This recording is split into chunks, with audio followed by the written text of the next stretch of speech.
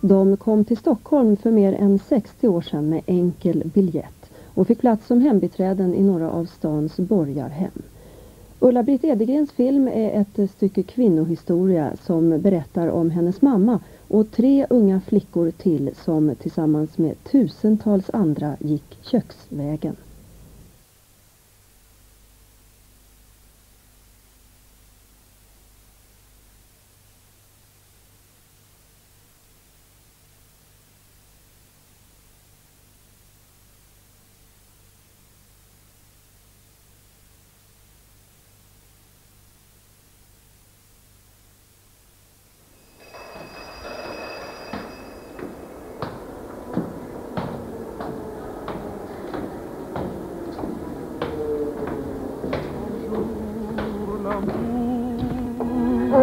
Tjusigt i alla fall. Ja.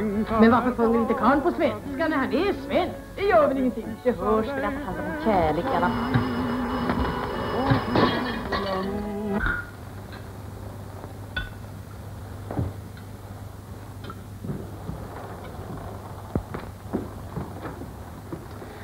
Jöss med den, vem det nu blir.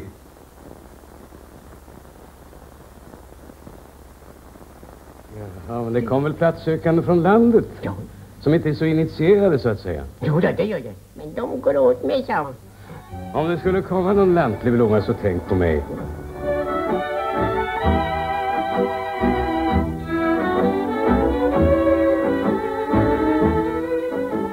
Ensamjungfru. Absolut frisk och renlig med stadgad karaktär, kunnig i matlagning. Troende ordentlig flicka, ej alltför ung, som kan trivas på land.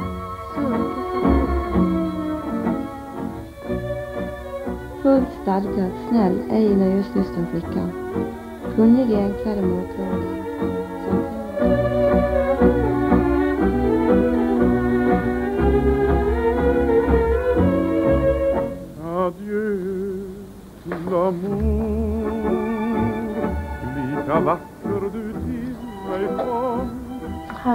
Är på pappa och dig. Ja, det är samma som jag har här. Det är utanför herrskapet. Ja, just. Här är en fin bild också. Drottningholm. Den kappan skulle jag vilja ha idag. 70-80 kronor. Ja. 30-talsmodet är jättevackert. Vinröd med en skinnkrage. Så här står det då. Fröken Berta Nej, du behöver Viola. inte säga fröken, usch. Och nu måste jag läsa det. Ja, ja, ja. Eller hur? Du var ju fröken. Mm. Ja. Fröken Berta Viola Isaksson som varit i vår tjänst sedan 1 februari 1928 är på egen begäran denna dag ledig från sin anställning. Hon har hos oss haft en ensamjungfrus uppgift och under husmors ledning på ett förtjänstfullt sätt utfört alla förekommande göromål. I arbetet har även ingått tvätt och sömnad. Hon har varit ärlig och pålitlig, villig och arbetsam och då hon dessutom varit mycket ordentlig kunna vi rekommendera henne till det bästa. Äppelviken den 14 september 1932. Vilket fint betyg. Ja. Mm-hmm. Ja, ja. Det här var väl det bästa man kunde få? Ja. ja, det var det nog. Var du ärlig och pålitlig och villig? Mm. Var det det? Säkert.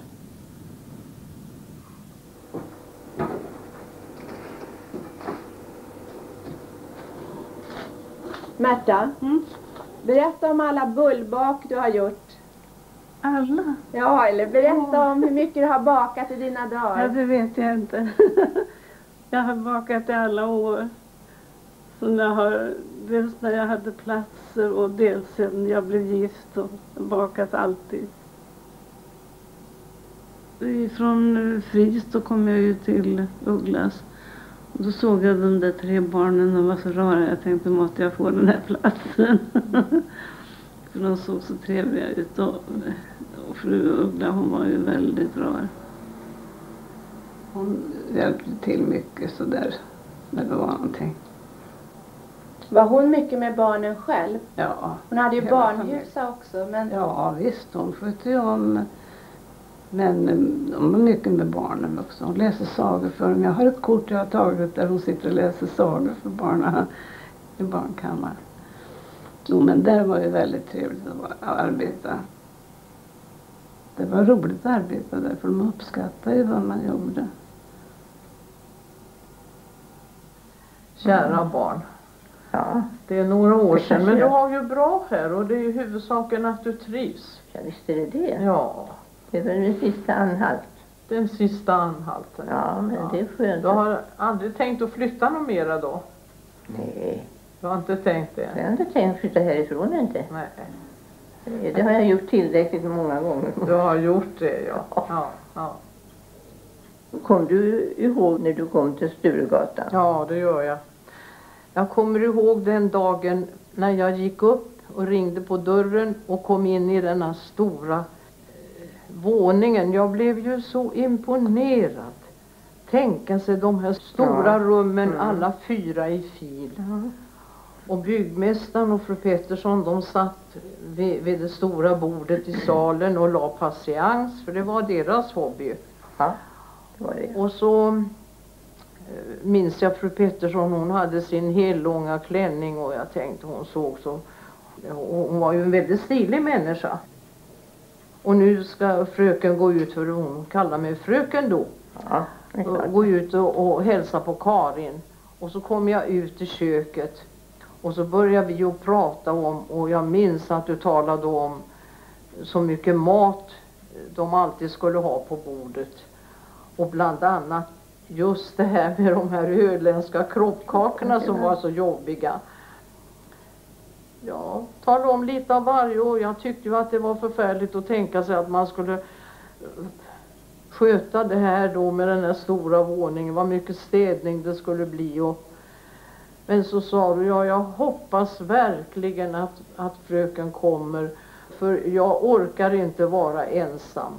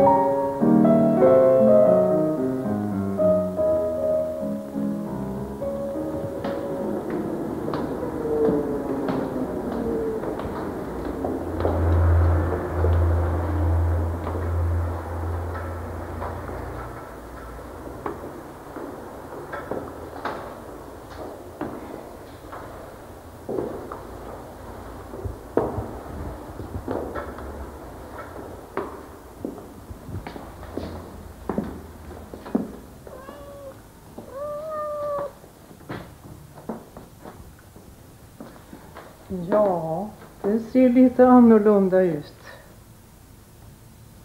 Det gör det.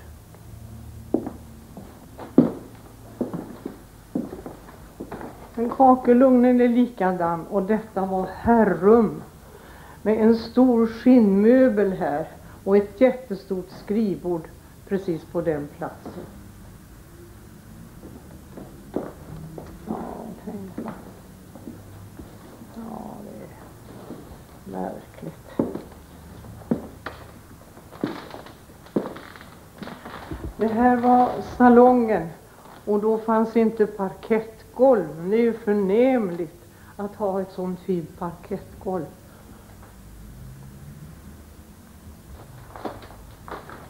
Mm. Här var byggmästarens garderob. Ja, de kan ju verkligen ha glädje av sin balkong, men det hade inte vi. Vi hade aldrig någonting på balkongen mer än att vi vädrade sängkläder och garderober. Fin liten kysse, ja det var en fin liten kysse. Ja.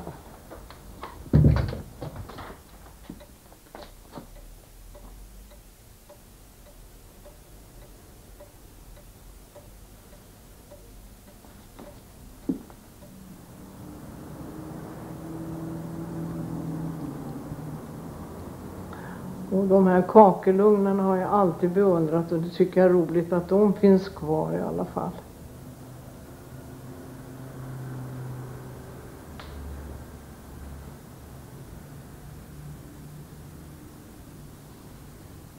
Och jag kan ju säga det att så såg aldrig kakelugnsluckorna ut på vår tid.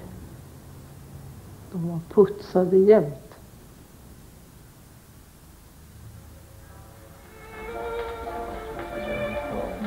Ja,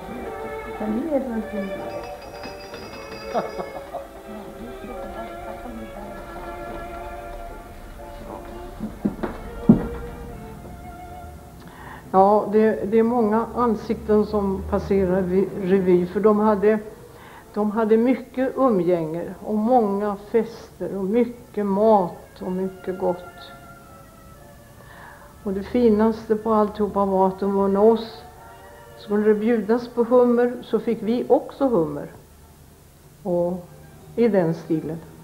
Alltid gott bord, alltid god mat. Och det kom från Östermalms saluhall bud.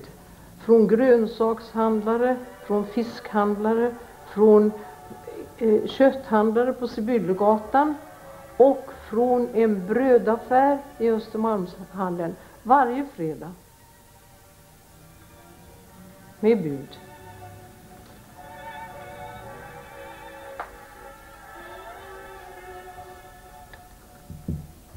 Ja, när fru Pettersson ringde då var det ju bara att släppa allt vad man hade för händer och fråga vad hon ville och för att hon var väldigt mån om att man skulle komma med detsamma.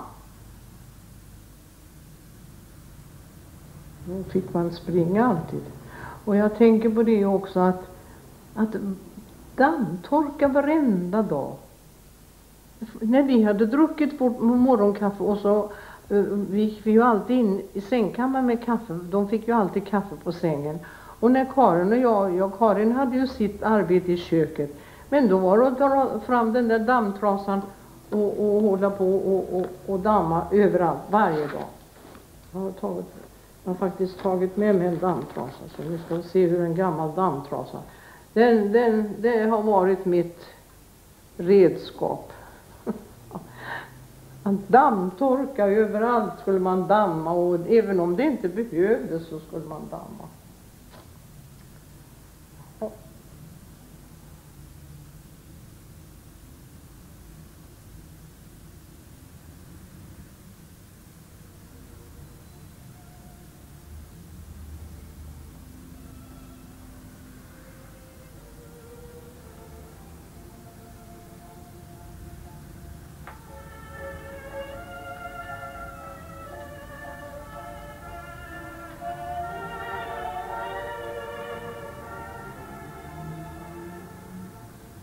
Sen tänker jag på kristallkronor.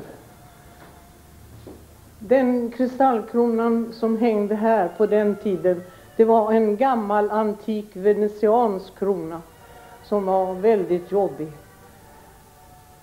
Och jag minns första gången när jag skulle göra den ren så sa jag till byggmästaren, den här kan inte jag tvätta som den sitter. Tänk om jag fick plocka ner den. Jaha, varsågod, sa byggmästaren. Det går bra det. Men kom ihåg att det ska upp precis likadant. Jaha, det ska jag garantera, sa jag. Och jag stod på stegen och jag plockade ner varv efter varv och la i ordning på, på, på mattan. Och byggmästaren gick där och tänkte, det där det, det, det undrar jag om hon kan klara. Men när kronan var färdig så sa han, Maja den har aldrig varit så fin.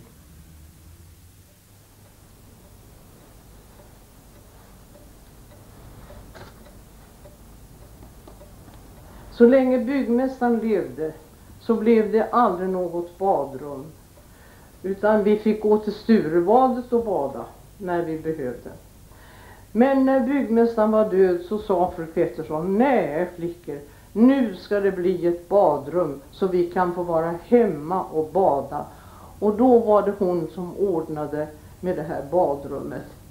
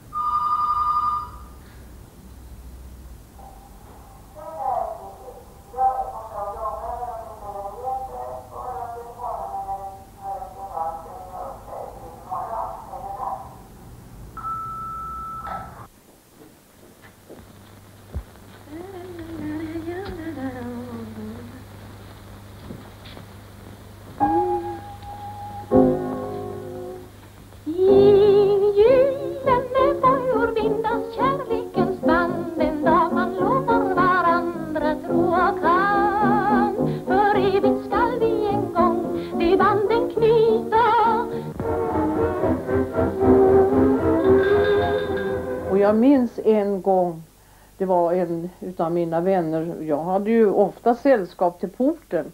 Men fru Pettersson hade en gäst som råkade se mig stå när vi tog farväl utanför porten. Och så hade hon talat om att ja, jag såg fröken Maja, hon stod nere i porten med en student. Och sen så på morgonen, inte på kvällen för detta var på kvällen, så kom fru Pettersson och sa, fru Pettersson och sa Maja, jag vill inte veta av att Maja står i porten med några pojkar. Jaha, det var bara så. Jaså, Ester har en kar hos sig? Han är ingen karl, han är min fästman. Ja, vad han än är så har jag en gång för alla förbjudit mina hembiträden att släppa av karlar på rummet. Ja, var ska man då släpa dem? Ska man ta dem på Grand Hotel kanske, va? Ja, vi är nästan förlovade. Vi har till och med funderat på att gifta oss. Ja, det är upprörande. Jag vet inte vad hon sa för någonting då men hon sa sen väl dagen efter att han tyckte inte om att ta upp folk från gatan sådär. Ja, men han är ju hemifrån sa jag. Jag känner ju honom.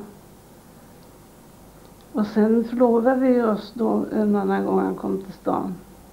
Och då så fick hon se, jag hade ring på fingret och frågade om Märta förlovad. Jaha, ja men det kunde ju ha talat om så kunde gjort något trevligt. Ja men han fick ju inte komma hit, sa jag. Då sa hon ingenting. Hon kunde ju ha frågat vem han var.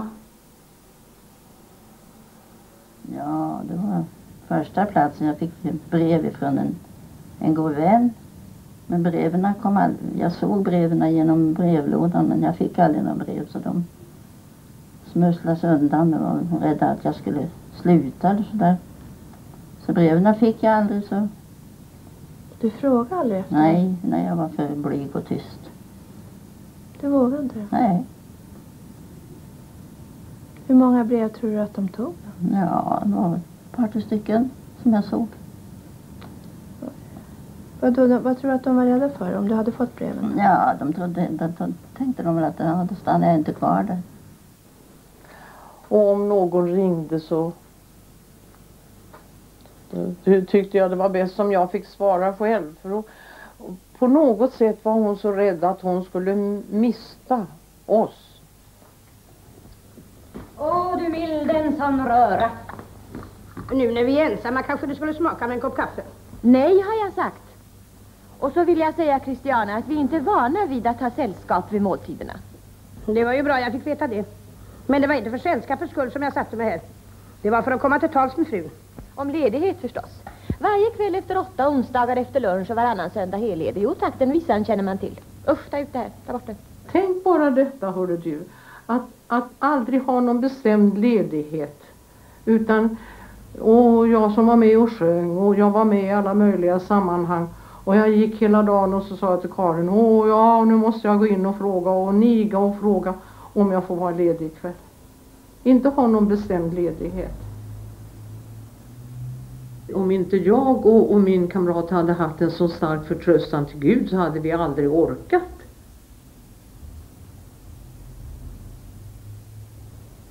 Och så slutade jag på hösten.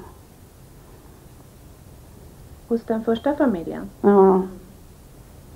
Men... Eh, jag tyckte det var lite sent på kvällarna och sådär. Och så fick jag sprickor i händerna. Varför tyckte du det? Jag diskade i sodavatten och sköljde i kallt vatten efteråt. Det tålde jag inte. Jag hade så sönderspruckna händer. Så. Varför diskade du i soda då?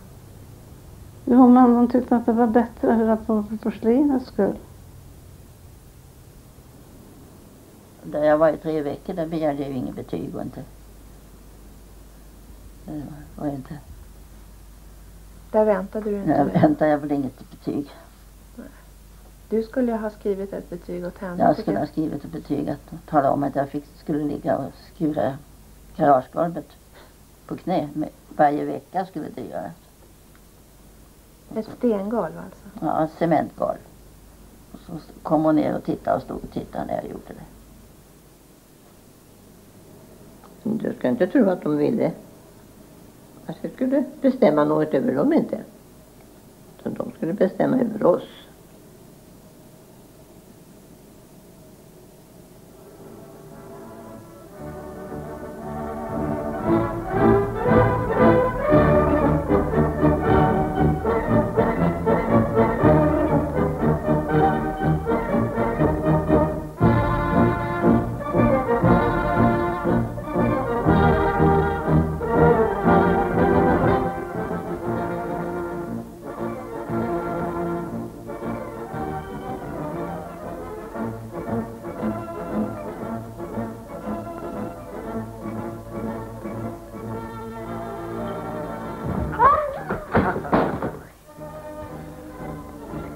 Var väl inte nödvändigt att ta så hårt i mig i alla fall. Ja, det är väl omänskligt att begära att jag inte skulle ha gjort det.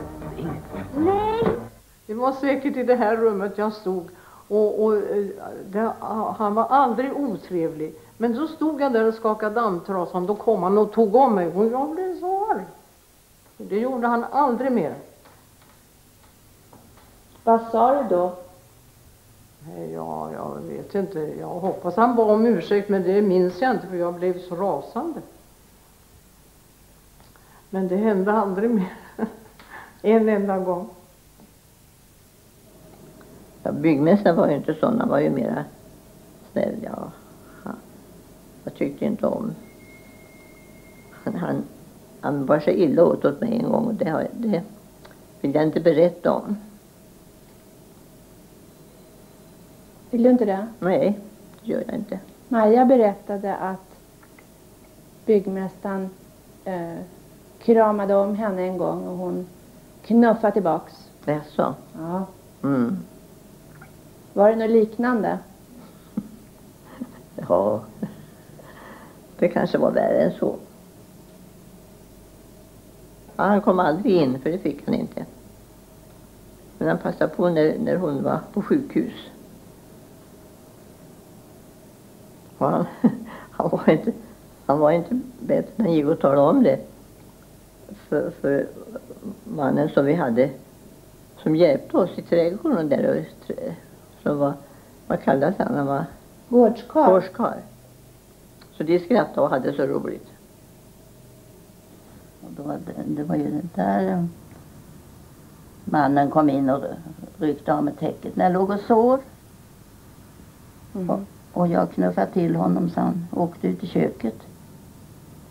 Och sen nästa dag så ropade han åt mig att jag skulle komma ner i garaget för han skulle be, han bad om ursäkt. Och sa åt mig att jag inte fick tala om det för frun, för han var berusad. Var han det? Ja, han hade varit på fest. Utan frun eller? Nej, frun hade inte hunnit komma hem. Hon kom efteråt. Ja, de var hos en granne. Vilket svin. Får man säga så? Ja, men. Ja, ja, det var... Det var jobbigt och arbetsamt. Hoppas du knuffade hårt. Jag tror det. Va? Jag tror att jag knuffade hårt för det skramlar värre.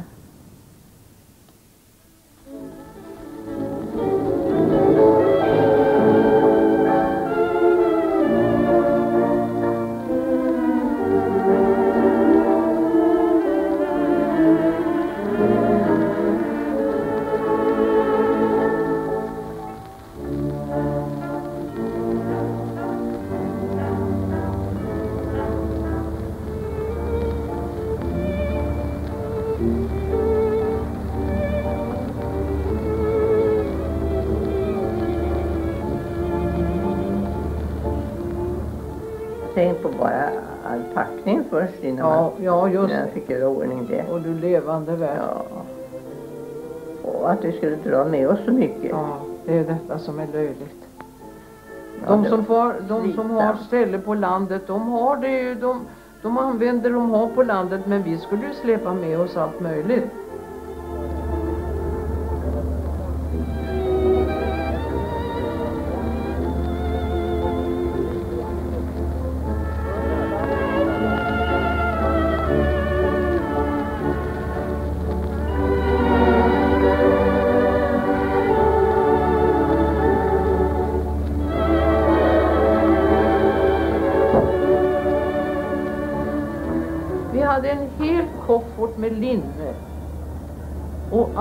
Silver skulle med ut fast vi hade bestick på landet. Vi hade koffertar och korgkoffertar. Och för att inte tala om en säck som jag, jag kan inte beskriva hur och säcken var så stor så den när, när, när den stod upp så fick vi stå så här och stoppa ner det sista som vi höll på att glömma. Det stoppade vi i sängklädsäcken. För det var så jättebra. Och, och hela bryggan var full av grejer.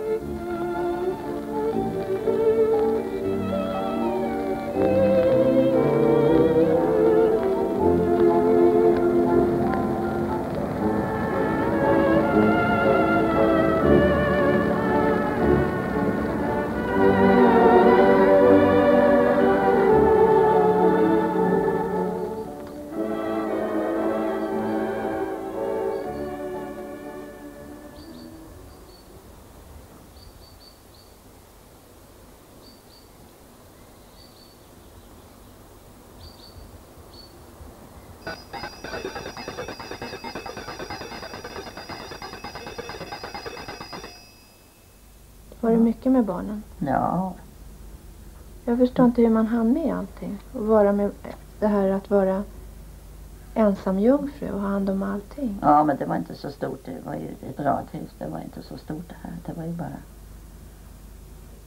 Är det här de här radhusen i Ålsta? Ja, Som eh, Per Albin Ja, just Hansson ja, ja. lät bygga? jag bodde där när Per Albin fyllde 50 år. Och då kom de med musik på morgonen och gick gatan upp. Jag skulle gratulera honom. Var du med och gratulerade? Nej, jag var inte med men jag hörde. hörde musiken.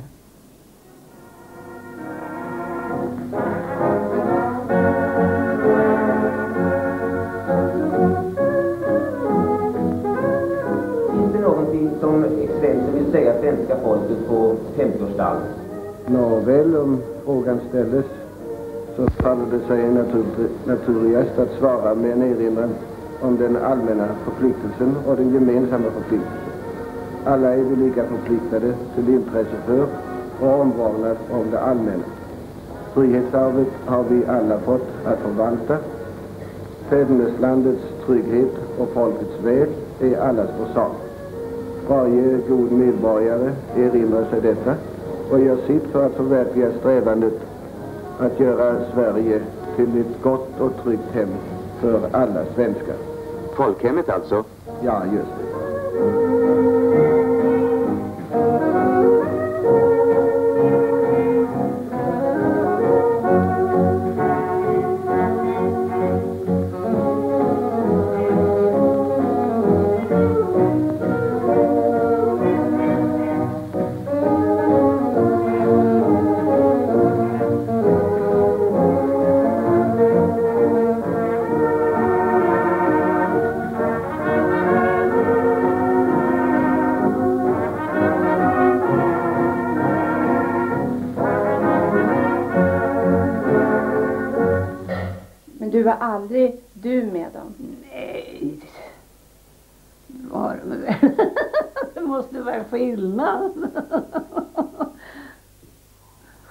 På vad då? Lort och pannkaka. Vem var lort? Jag. Berätta mer om det. Vad, vad, hur kände nej, du då menar det säger man ju på skoj. Jo, jo, men jag menar varför tycker du inte att man kan tilltala varandra mera familjärt om man bor i en familj? Nej, men de var ju härskap och jag var ju tjänare. Det är väl skillnad på härskap och tjänare, tjänstefolk som säger. Härskap och tjänstefolk. Är det skillnad? Ja. Varför då? Det är klart att det är skillnad.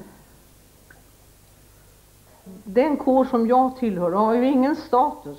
Och det kan jag ju uppriktigt säga att när jag var borta på semester och var jag var så var jag livrädd att någon skulle fråga mig vad jag gör. Är du lärarinna, sa de. Nej, jag är inte lärarinna. Ja, men då är du nog sjuksköterska. Nej, jag är inte sjuksköterska heller, men jag talar ogärna om vad jag gjorde. Jag har ju träffat många pojkar och, och, för allt i världen, det har jag, men jag har inte precis varit så särskilt fästa vid någon. Men det var en, vi läste lyrik tillsammans och, och, och jag tyckte det var väldigt trevligt med den bekantskapen. Och sen eh, så kom han till Stockholm och vi träffades. Och jag tänkte, ja måtte han nu bara inte fråga vad jag gör, för det behöver han inte ha reda på. Så kommer en dag då, vi var ute och promenerade här i stan. Vad gör du egentligen Maja? Ja, jag skulle helst inte vilja tala om det, sa jag, för det är nog ingenting för dig. Han var ju, han var ju, eh, vad heter det?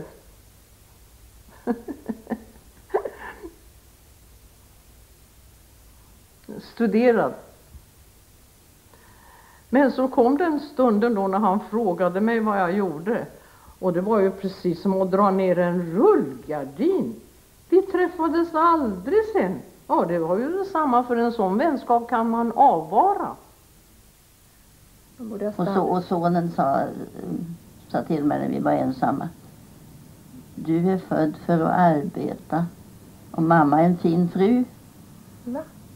Sa han. Men det, det hade han väl hört någon säga. Han var bara sju, åtta år då. Så då fick man veta vad man gick för.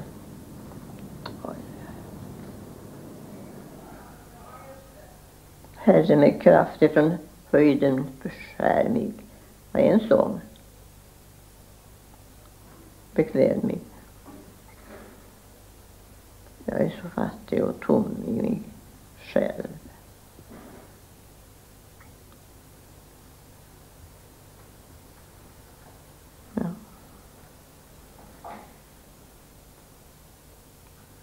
Är barn till en kung. Det var också en sång som man sjöng gärna.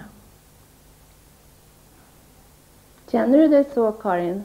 Som du sa, jag är Ja. så fattig i mig själv. Ja, emellanåt ja. ja. Mig själv ja. Ja. Ja, det gör jag faktiskt, det måste jag säga. Jag är fattig i mig själv. Jag äger intet. Som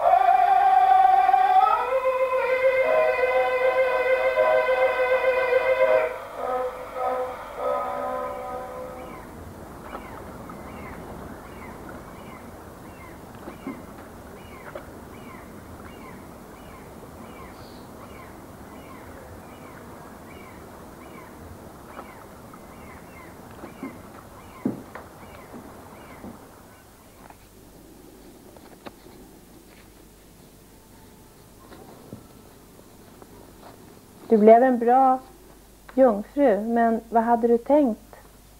Ja, jag ville fortsätta att studera. Men det gick ju inte. Därför att eh, jag måste ju hjälpa till med sl- med slussen hemma.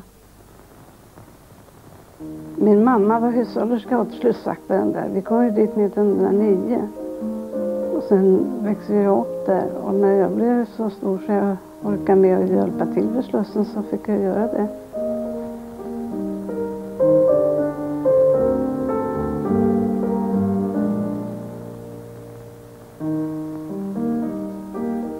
Så det där betyg finns väl inte nu för tiden. Vilket var ditt bästa ämne då? Ja, det syns väl. Ja, titta. Räkning och geometri. Mm. Var det någonting du eh, ville bli? Eller? Ja, jag ville bli lärarinna. Mm. Och hur känner du för det då? Att du inte gjorde det då? Eller att du inte fick göra det? Ja, det fick bli som det blev. Det bara var finnas i det. Du var aldrig ledsen för det då, eller tänkte på det senare? Det har jag tänkt många gånger. Mm.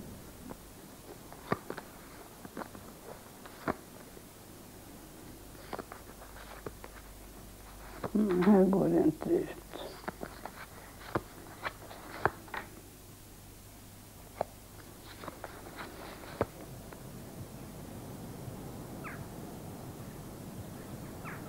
Om du hade fått välja då, vad tror du att du hade gjort? Det fanns inte mycket att välja på den, på den tiden. Det fanns ju ingenting. Bra- mamma, mamma sa så här, du ska bli lärarinna för du kunde, kunde läsa när du började skolan. Men sen var det ingen, ingen som pratade om det sen. Det var, fanns ju inga möjligheter till det. Du som är så duktig att läsa.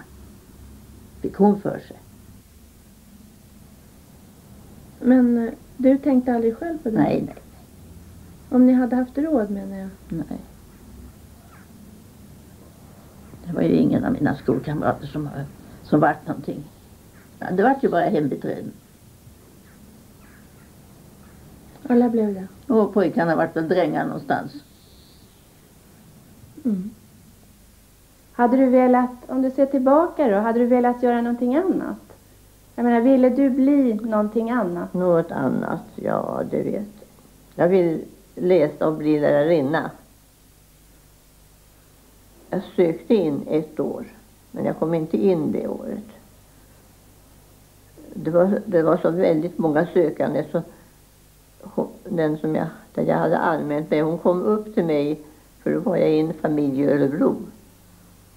Då kom hon upp till mig och så sa hon att, att det, du ska inte ge dig.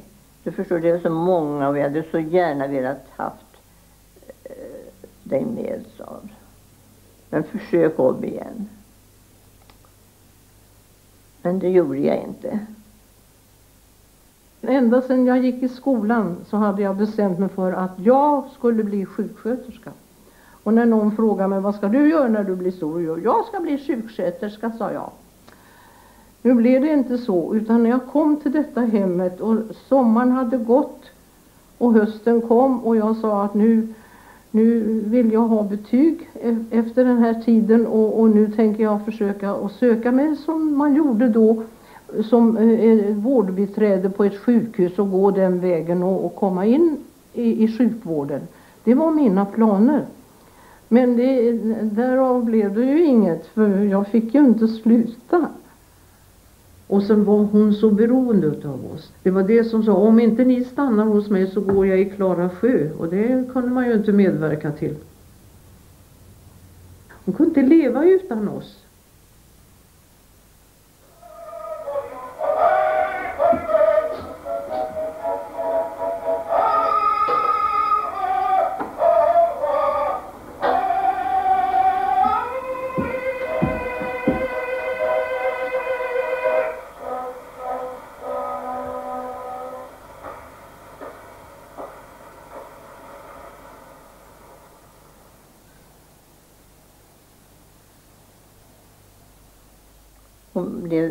Verkligt... Jag, jag menar hon var ju så styv och så duktig förut men hon, hon var så förvandlad på sista åren. Allt det där sturskade, det där höga försvann. Hon blev så mjuk och jag satt med hennes dödsbädd. Det, jag har ju er bara, Frickersson och Maja och mig. Jag har ju bara er.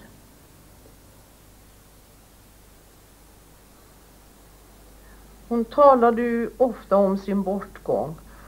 Och bland annat så sa hon, mina kära flickor, jag hoppas att ni lovar mig att jag aldrig behöver komma in på sjukhus om jag blir sjuk. Och framförallt så skulle jag önska att jag aldrig behövde ligga på ett bårhus. Och när hon var död så talade jag, jag är nämligen bekant med en begravningsentreprenör och jag ringde genast till honom och bad att han skulle komma och det gjorde han. Och den finaste kista som fanns den bestämde Karin och jag att den skulle vi ta. Och han svepte henne och la henne i den här fina kistan. Och sen fick hon stå i burspråket i våningen till den dagen begravningen var. Och vi satte två, vi hade i, då hade vi två stora kandelabrar som vi har, som har följt fru Pettersson i, i alla år och de hade vi kvar. Och då ställde vi en utav båda de här kandelabrarna på var sida om hennes, om hennes kista. Och, och kistan var beskaffad så att det var lock med gångjärn på. Och varje kväll gick vi och tog farväl av henne. Där hon låg och hon var så vacker. Hon var en väldigt stilig kvinna egentligen. Men hon var vacker också när hon var död. Och så fick hon sin önskan uppfylld. Hon behövde aldrig komma till ett bord.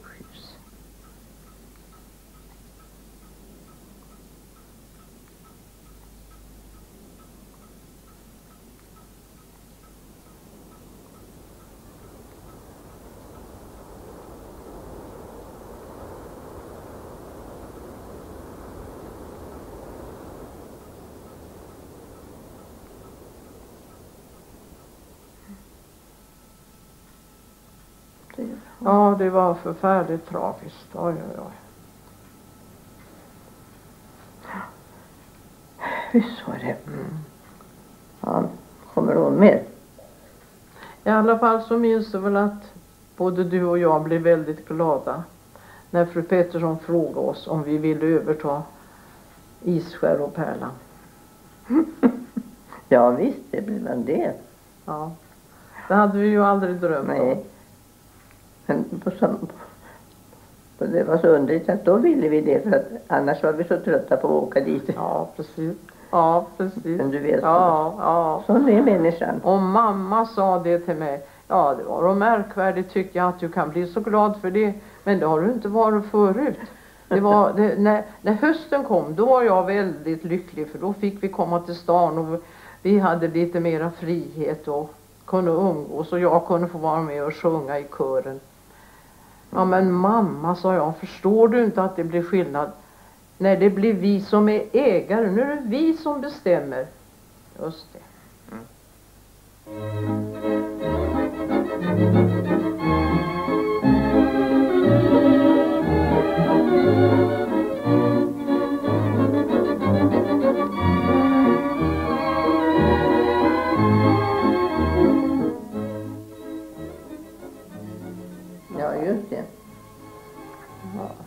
Fint. Har du höfsat till mig nu? Nu har jag höfsat till det ja.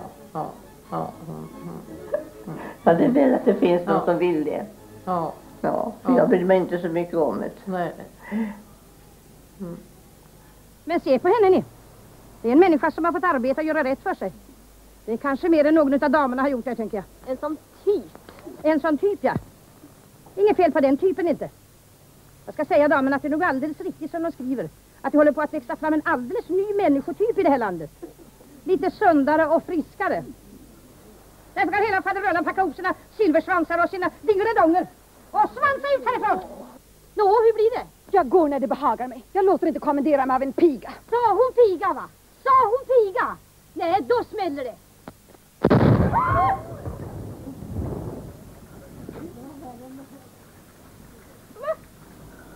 Jag kallar mig inte för pik.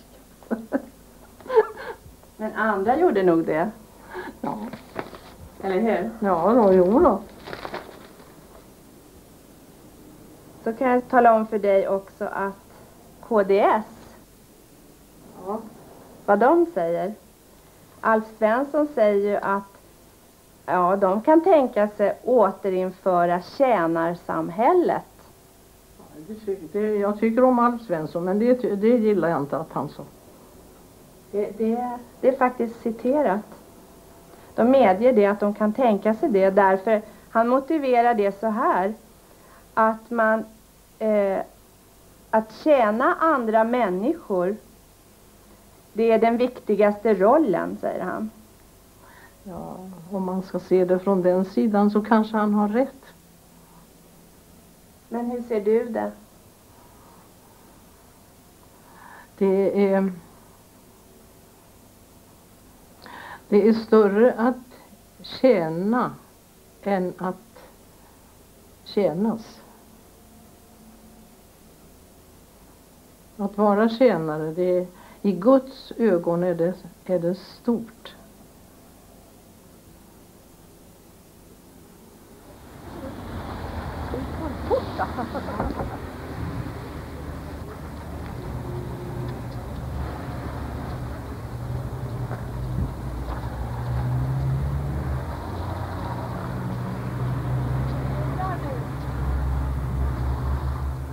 Så att de som då har tjänare, de skulle få dra av på, på, i sin deklaration. Det är väl inte rätt? Är det det? Men de som har råd att ha ett hembiträde eller ha hemhjälp så har de väl råd att betala också. Det ska inte staten betala. De har ju så mycket ändå. Då får man ju vara med och skatta till det också sen då. Det har inte jag någon lust med att betala. Nej, det tycker jag inte om.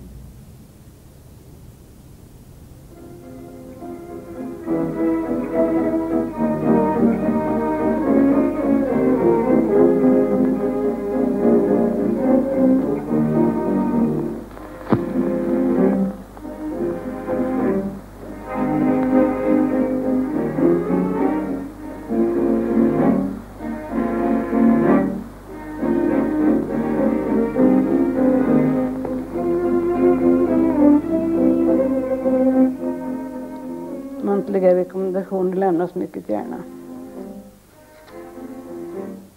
Det var 1930 det.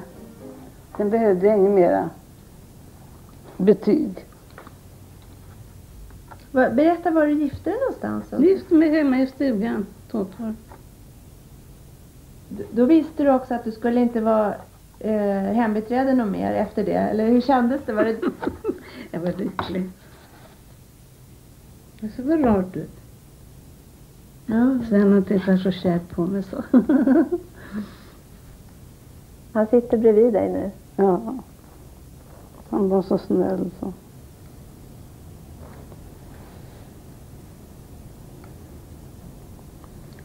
Hur länge fick ni vara tillsammans? 35 och ett halvt år ungefär. Men då har vi gått i sällskap i tio år innan också. Jag åkte ju även dit och, och jobbade lite då och då sen jag hade flyttat hit. De ringde efter mig att jag skulle komma och hjälpa dem. Sen du gifte dig? Ja. De ville inte förlora dig? Nej. Och de var ju även hit och hälsade på mig. Så. Eller hälsade på oss. Litet bo, jag detta vill, hus med trädgårdstäppa till. Och när man ser trädgårdsidyllerna i ett bara treårigt Änglykvarter förstår man att här är en miljö för trivsamhet och grannsämja. Det är inte bara det att småstugornas tre rum och kök i årsomkostnad inte tar mer än ett rum och kök i stan, utan man har också en liten vrå av naturen att släppa barnen i. Och där man bland blommor och blader alltid kan fortsätta sin nybyggarlycka. Småstugeidén är verkligen en av de bästa idéer som våra sociala välfärdsmän har kommit på. Arbetsglädje, förnöjsamhet och trivsel är småstugområdets atmosfär.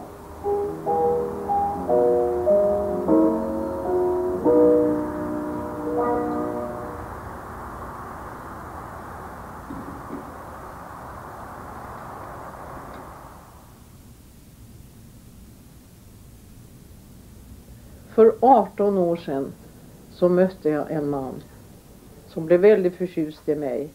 Och jag har många gånger tackat Gud att jag mötte honom för det var en, en underbar människa. Och jag, var, jag fick vara hans vän och han var min bästa vän i 18 år.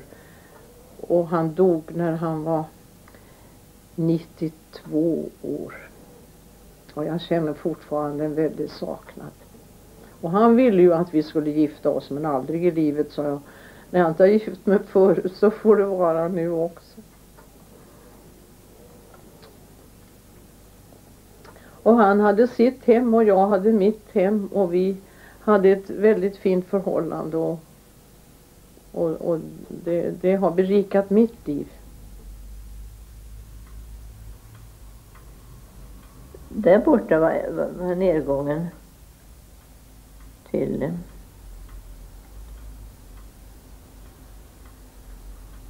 Var det där han gjorde hissen månne? Tänk att jag, att jag har glömt riktigt hur det låg till. Var det någon som friade Karin någon gång? Nej, det var ingen som friade. Det var jag glad för. Jag vill inte ha någon. Jag vill inte ha någon friare. Varför då? då? Ja, jag vill, jag vill klara mig själv. Själv är bäste dräng.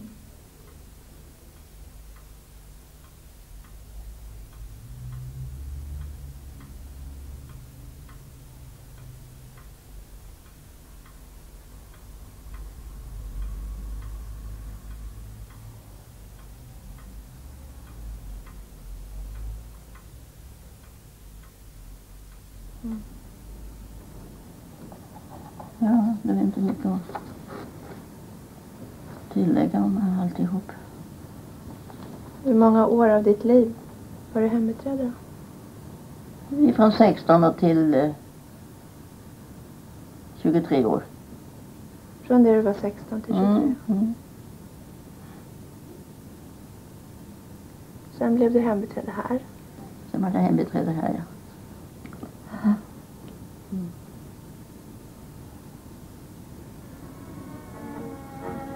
Det har gått många år sedan dess.